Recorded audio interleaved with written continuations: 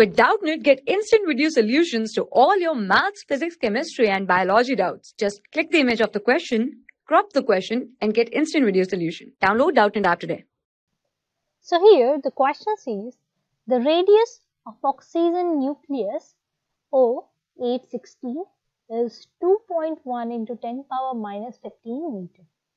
Find the radius of lead nucleus PB82 and 205 right.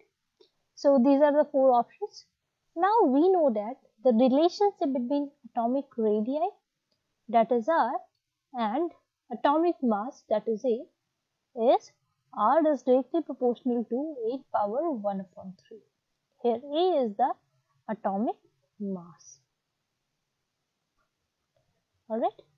Now here we are we have been given two atoms one is oxygen and another is lead.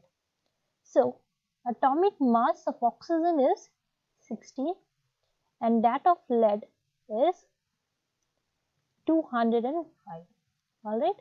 So we can write the radius of ratio of radius of oxygen upon radius of lead is equals to atomic mass of oxygen upon atomic mass of lead power 1 upon 3 right? We can write this. So radius of oxygen upon radius of lead is equals to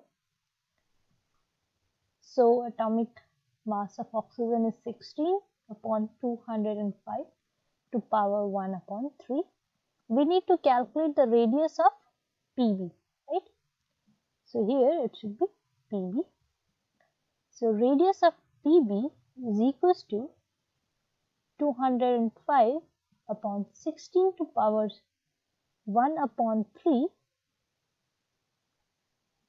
into the radius of oxygen that is equals to that is given to be equal to 2.8 into 10 power minus 15 meter. Alright so after calculating we will get radius of PB that is lead to be equal to 6.5 5 into 10 power minus 15 meter alright.